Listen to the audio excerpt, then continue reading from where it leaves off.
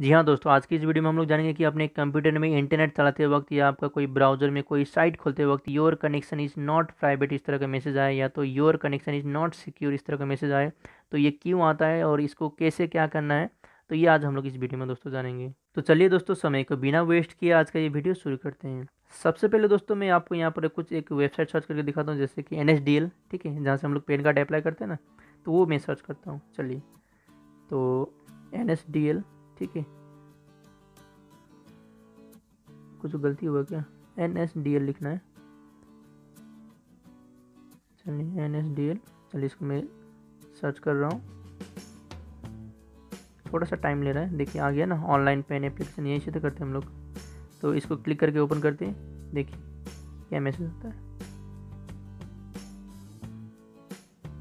देखिए your connection is not private ये आने का सबसे बड़ा रीज़न होता है कि आपके कंप्यूटर में एंटीवायरस का ना होना या मिसिंग होना।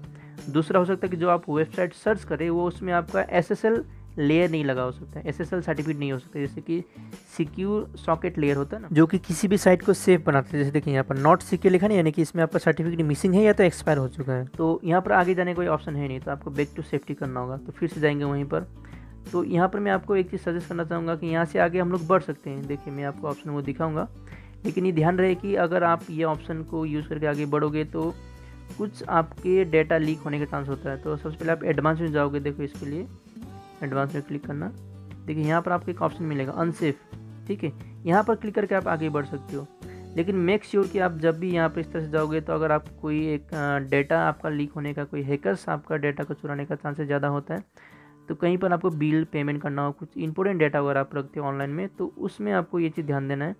देखिए दोस्तों, यहाँ पर खतरे की घंटी नॉट सिक्योर लिखा हुआ है ना तो अगर आप कुछ ऑनलाइन पेमेंट वगैरह करते हो तो इस तरह का साइट में जाना आपके लिए रिक्स रह सकता है। तो दोस्तों, ये सब का आपको ध्यान में रखते हैं, इसका आपको आगे बढ़ना है। तो दोस्तों, इस वीडियो को अंत तक देखने दोस्तों, आपका बहुत बहुत धन्यवाद।